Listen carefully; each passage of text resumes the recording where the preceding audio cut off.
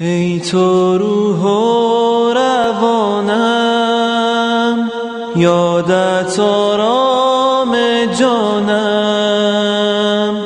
با غم دوری تو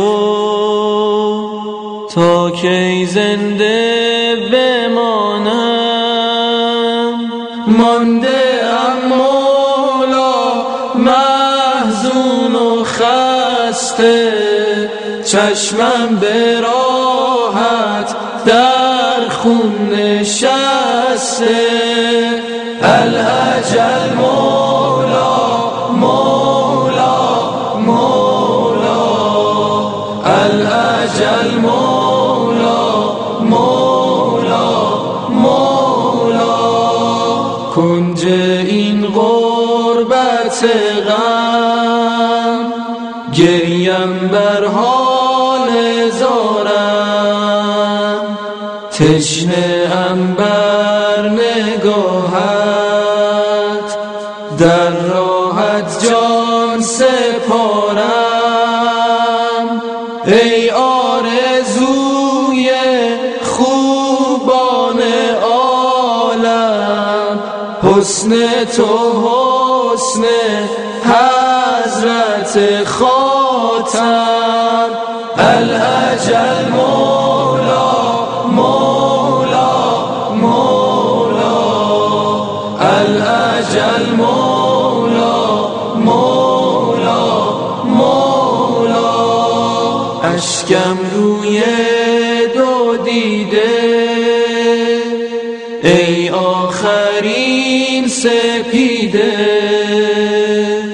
یاس خوشبوی نرگس وقت دعا رسیده. دیده به راهم ای گل تاها. چشم انتظارم یوسف زهرا. الاجل